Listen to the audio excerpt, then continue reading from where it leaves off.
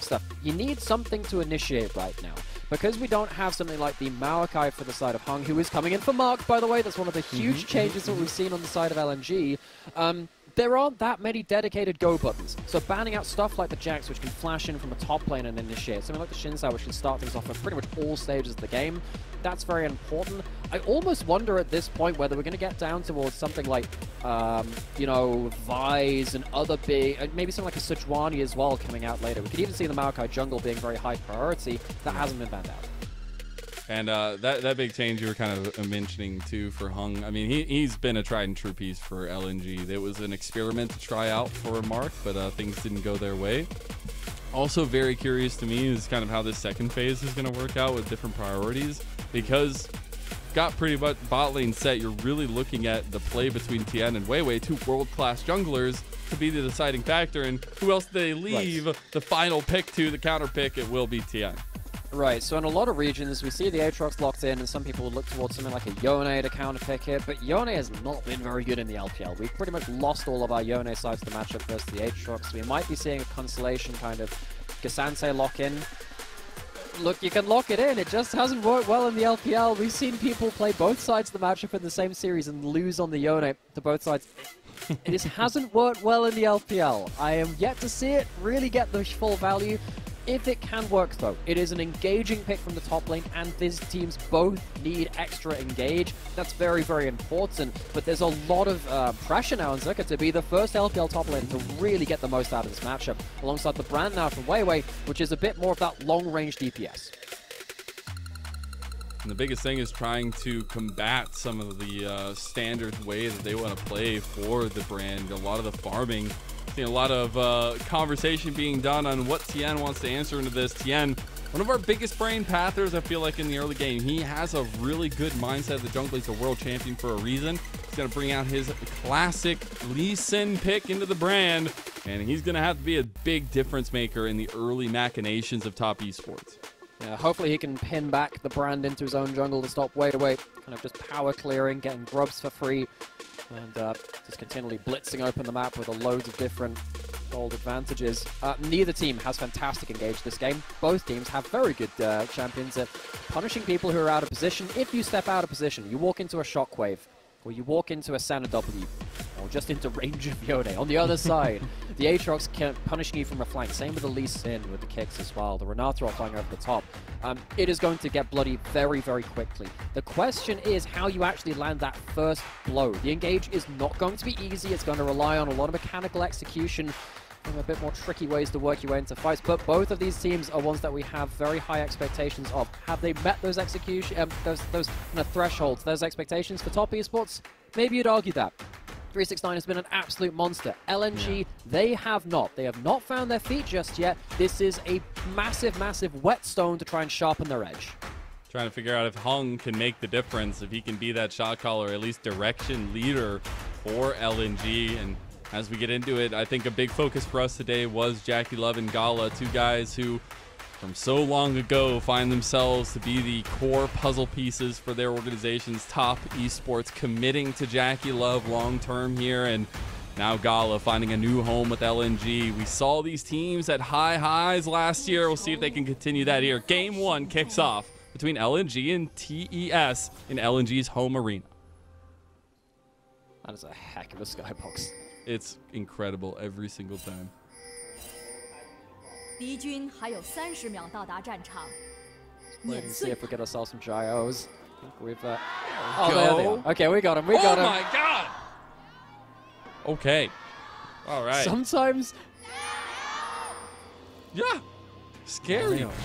Okay, so sometimes, just for the record, folks, we don't always hear the gyros because sometimes the crowd mics aren't completely turned on as we transition into game from the arena itself.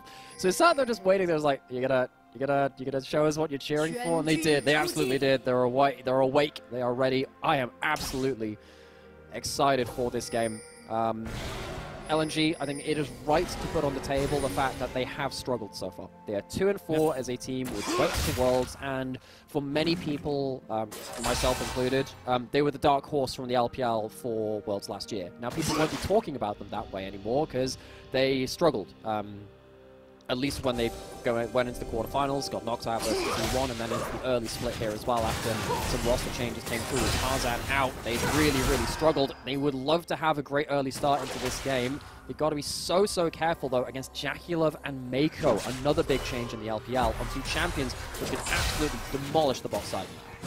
Yeah, I think another conversation is the fact that, you know, I didn't feel like there was much wrong with LNG last time around or last year. They went and got, you know, the world finalist jungler in Weiwei. They said, let's pick him up and see if he works with Scout. And we haven't seen that combo work out. Scout's had some really rough games. So you're looking to see, is this a proving point for them against Yeah. the top team? Can they turn this ship around? The thing is, um, it's it's a it's a lot of soul searching needed for LNG because um, Weiwei, for want of a better word, is a gremlin style jungler. He just kind of walks into the enemy jungle and makes a mess of things. He is annoying, gets in your face, and he tracks you and gets value at the same time. Someone like Tarzan was a bit more of a planner. He would be someone who'd link up with scouts, say, okay, when you're on this wave, wave three, wave four, we're going to walk into the enemy jungle. You're going to be ready to assist me at this point. He doesn't have his jungler here right now. He's pushing in, and this is what they've been lacking so far. Scout connected on, but not going to burn his flash. Staying cool as a cucumber there.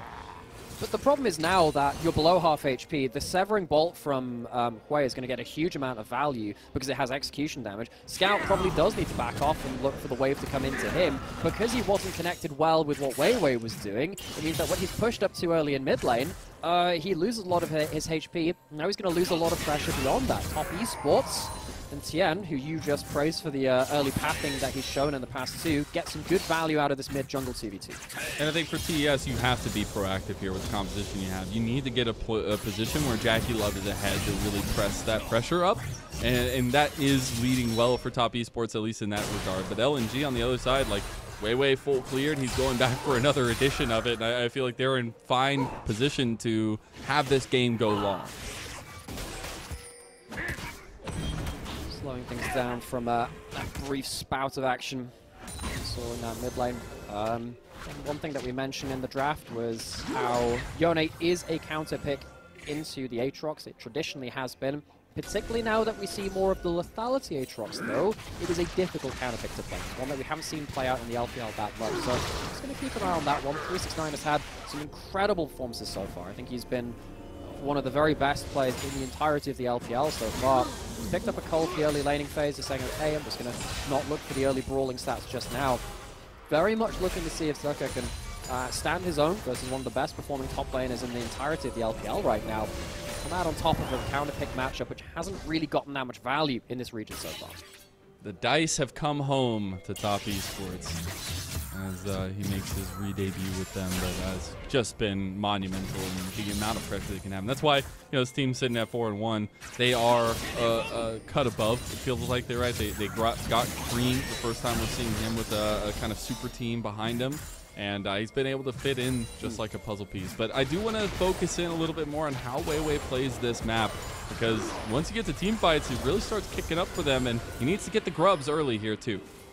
So Brand takes grubs very, very quickly. We've described it a number of times now. You hit all your combo onto a single Oh, burst, no. onto a single grub, but Meiko's walking up. Meiko, it, he, Weiwei missed the combo. I think Meiko might die if he actually gets the combo off there, but he can't get the CC chain. Now Tian is going for an answer on the Zika in the top side. He still has five. flash. The soul unbound. He's going to get the distance, but Tian closes that distance and closes the kill. First blood to TES. So Yone first death on the board, no teleport, so loses some gold under that tower as well, put behind him. That's a bit awkward.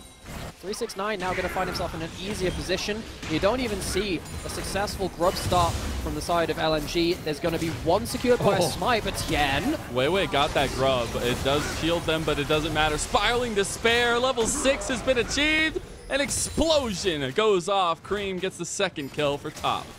You can see the intent from LNG. They run Gala up early. And they tried to get some value out of that and try and uh, burst down the grubs early. But top esports, they're in river early enough. And that missed combo now onto Meiko may be very, very important. Really good hit combo onto Creme. The heal comes through just to get the distance, and Gala picks up the kill. Good pickup back on the other way. Scout on the Orianna. A little bit of a quiet early game after getting out traded very early on. Picture in picture. What happened here? So, this is what's going to be Oh, so that was a teleport towards bot side before the fight happened. Oh, it was a cancel teleport. Okay, right, that makes more sense. I was wondering exactly why things went so hectic on the top side. But now what that meant is that JackeyLove now has had a lot of extra time on the bot side. Has taken a plate, taken a lot of CS, and top esports, they have very much won out of this early game so far. Definitely have. Uh, 36 not gonna hit the not gonna hit the few sweet spots there. The face shield is available from Zika if he wants to play a little bit more safely.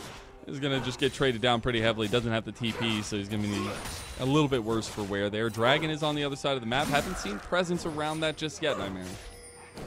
No, it has really been about those grubs, and once again we have, um, well, all of our series today, we've had some really quite um, dynamic early games. A lot of big movements back and forth.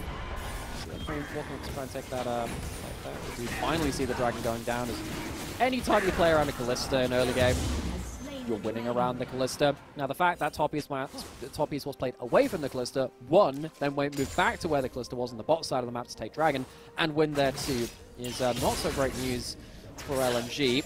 And uh, problem is, you'd be looking to see if Zika could start taking off in this game as well. It's not been an easy start from him. Of course, he's not out of the game. He's even in CS. It's not the oh, worst yeah. thing ever. But once he starts hitting one to two items, all eyes on this Yone to see if he can start making those plays really well. It'll be a uh, problem for future TES, not a problem for present TES, although Weiwei Trying to make it a problem right now, it feels like. We'll be spotted out by that. Tian will be there to respond in kind, and he actually has a really good angle here. Uh, so 369, he's look, he was looking to set up a freeze. He held the wave just beforehand. That means that Weiwei goes up to respond. Tian goes to respond to Weiwei since he's on that side of the map. That's the flow shot what happened in that top lane. The crash does go through, and Zika ends up getting himself a re free recall at that point. One thing which I want to touch on as well is mm -hmm. Creme is a player we know for being an Akali player, for being a Sylas player. He was kind of the, you know, uh, a lot of people refer to him as the, you know, the Chinese Zeka because that's his, uh, how he won his world championship, you know, with those kind of champions. But Creme has been that player who likes playing the dynamic, mobile, but low-range players. Mages have been a bit of an Achilles heel from him for a while. Last year was a bit of a departure.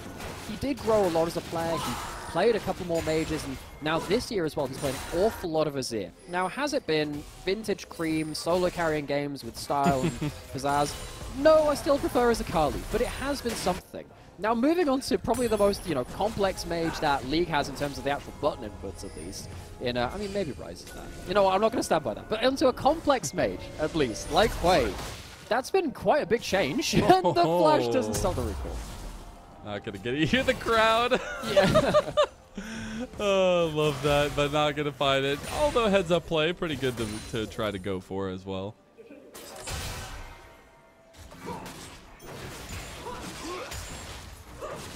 Well, I do wonder now if we do actually continue to see the proactivity from Tian on the I feel like it does still need to be the case here. You are actually at a pretty good advantage with JackeyLove in bottom lane.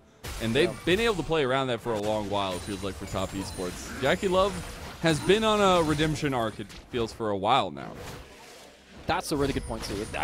One of the great things about this matchup is that every player on the map has pretty significant storylines behind it. Return of 369, you know, Scout trying to live up to his um, MVPs of last year. JackeyLove was absolutely insane last year. Um, he was a player and is a player who's famed for his less than wise decisions last year it felt like he was still making JackeyLove plays, but he was timing them better, and he was still being a laning menace, a team fight carry.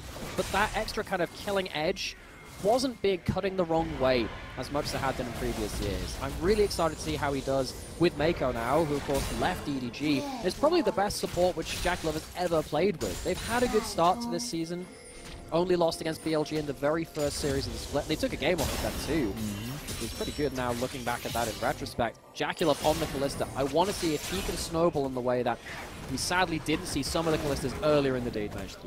And we haven't really gotten the focus down there at all yet, so there's no lead to speak of 11 minutes in. That could be a problem as now Weiwei steps in. TP's coming on the other side. That will be 369 joining. See if TS can get up to five grubbies. They're going to get to four see if LNG actually gets in to deny it.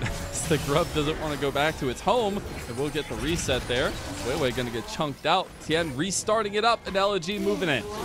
Creme's got low mana. That's going to make it hard to actually fight to control that choke point. Tian has Q and he has the smite. He doesn't go for it. Says, okay, it's fine. We've already got the fort. Avoided denied. a Decent amount from someone like this Yone who might be hitting towers later into the game. Secured four for ourselves. Kalista going to make good use of that, especially in the lane matchups. JackeyLove has been put into. Has an awful lot of gold. Three plates solo taken down towards that bot side. That's going to come back to bite LNG at some point. So, no mites to be spawned this day. But that does not mean we get to rest on our laurels, Nymera, because Dragon is coming up very shortly, and we already see top esports moving down this way.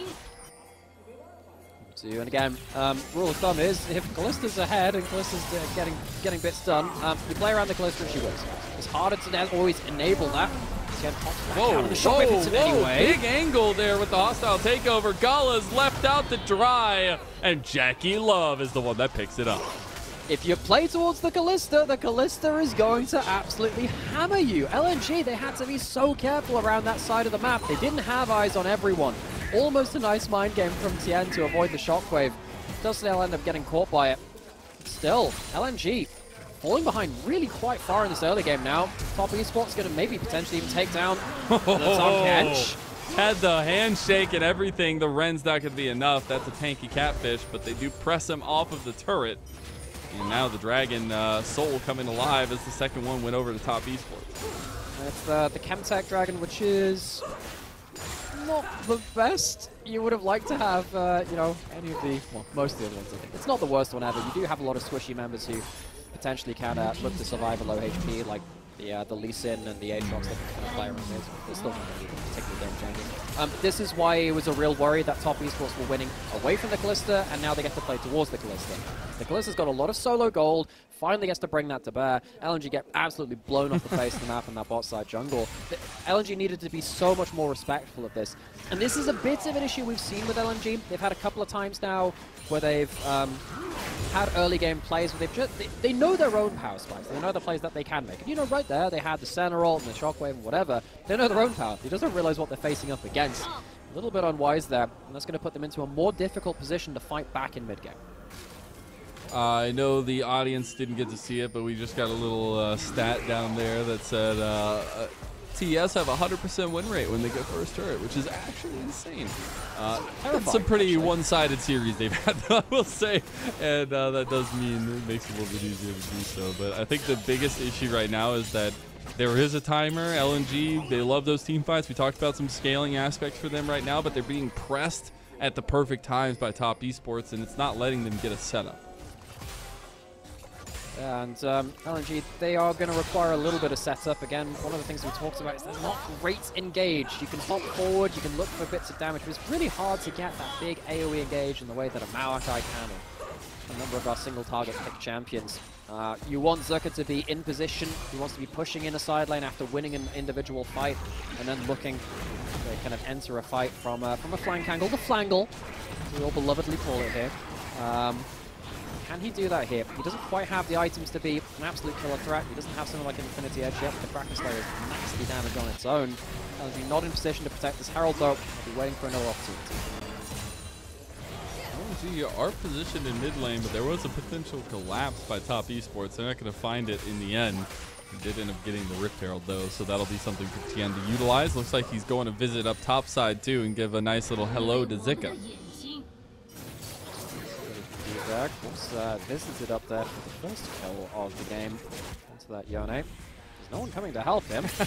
rather, I love that Tian just steps there. He's like, are you going to TP or not? it's a summoner for free. And this is quite important because one of the things that LNG have been best at, actually, is Hung. He has Flash. He's going to be forced to blow it.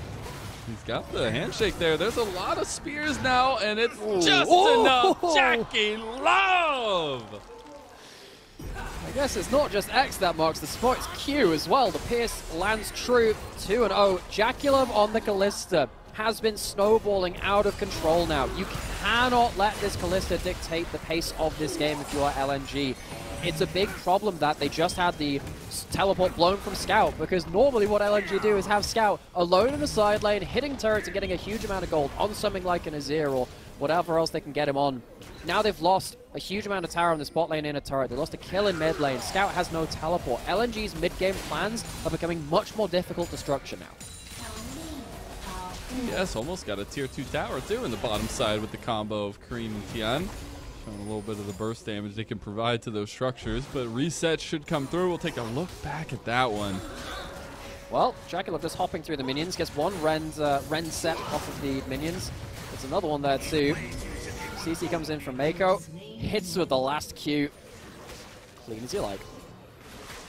I love watching players' faces during those situations, just seeing what is going through their mindset right there. Literally cool as ever, not even a care in the world. Pick that one I remember, um, because it, it's Gala who's famous, so even when he gets pentakills, no reaction. Stone face. Just, just, just the Iceman. JackeyLove and Gala. of course we talked about them. A little bit of JackeyLove stats actually for this one. That's what, uh, see. Uh, these players have played an, a massive amount of Installer. Uh, the career games for Gala 647. For JackeyLove 752. They've played each other 47 times, and they're pretty close in that too. They've uh, they, they, currently the record is to Gala, 25 to 22. Both of these players have been around for a little while, and they've played an awful lot of games, both regionally and internationally. Two of our most uh, veteran talents at that point, and they are in a position of power in this game. Gala hasn't really had a chance to decide this one just yet, though. Tian looking for an engage on the scout, and they find it in the end. LNG make it out alive for now. The Rabbit Maw not going to hit, and Tian in position of the Dragon. This would be a third Dragon for top esports. So this is where you start to see the problems with the lack of engage. The range from LNG allows them to kind of like poke some spears at top esports and see what they can get, but it's hard for them to land decisive blows on either side. So you've got to really see where that first CC lands. 10W is very important. Tahm Kench W's from out of vision, that can be pretty important too. Of course, if someone walks over a shockwave, that could be the absolute end of a team fight before it even starts. 369 actually at that rate, not having flash and being in a very squishy build, that's a big loss for him. It makes it much harder for him to find an angle. Zika walks up and starts uh, trying to throw his own weight around. Starting to get a little strong there with the Kraken Slayer too. He'll do a lot of damage in a short amount of time. Jackie loves trying to find an entrance, keep this priority in mid lane. He doesn't want to step up just yet. It's just a waiting game right now as 369's working on a tier 2 tower. He's going to get that one for free. You can see that Zika's walking down. It's a level down and there's an Edge of Night though on 369. It's not like he can really walk up for free. No fight over the dragon has yet erupted. Again, it's a bit of a fencing match. It's a chess match. moving back and forth, keeping distance. Shockwave blown in mid lane. Pretty big ult to use there, and won't have it for this fight that's already getting started by Tian as he's going to pull the dragon out. Top esports have very much won out in this phase of the game. We get the dragon, we've got a box here, uh, to turret. Oh. Even though Scout looks to try and get, get a catch onto JackeyLove, the heal movement speed gets him out of range, so Scout trying to make that big play, but again, you don't have the Nocturne to be the bar ball delivery. You don't have a Maokai. Much harder to make these plays work. And now without that Shockwave, much harder to defend your turrets too. Scout went up towards top lane just to get the Constellation Prize of a wave pushed in there and get some more golden pocket. But top esports are running this map right. 369's got the World Ender popped here. He will get double TPs away from LNG as they will collapse on him. He can't get the damage, the absorb, and it's uh, just enough, at least for LNG, to pull something out of Magic Hat.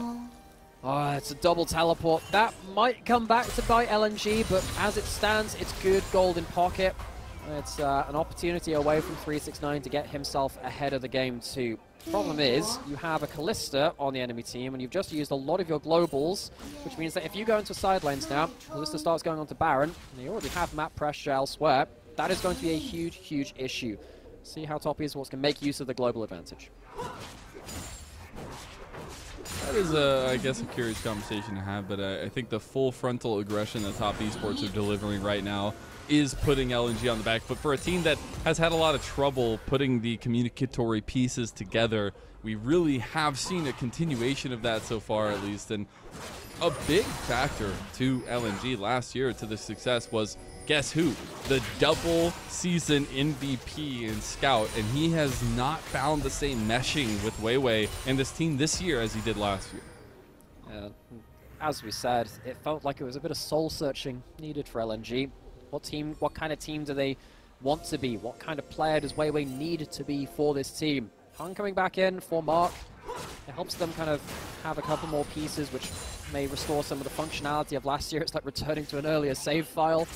But actually, a large part of that was following what Tarzan was doing on the map. They don't have that right now. And it feels like LNG they don't really have that many players to do to make in general this game, but the ones they have made have just not quite been precise enough to deal with how top esports are controlling this map, and controlling everything from the early game.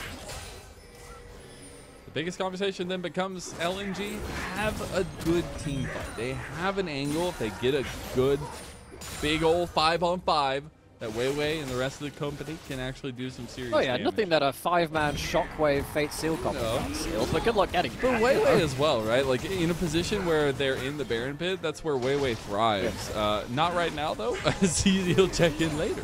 Uh, Well, we'll see how quickly they get vision of this. They're going to probably have to call the teleport up from Zika. He's backing off of the wave, recalling. They see them in River now. How already quickly are they going to teleport in? What an angle are they going to get? That's a lot of Rend stacks. Yeah, I mean that's that's just gone.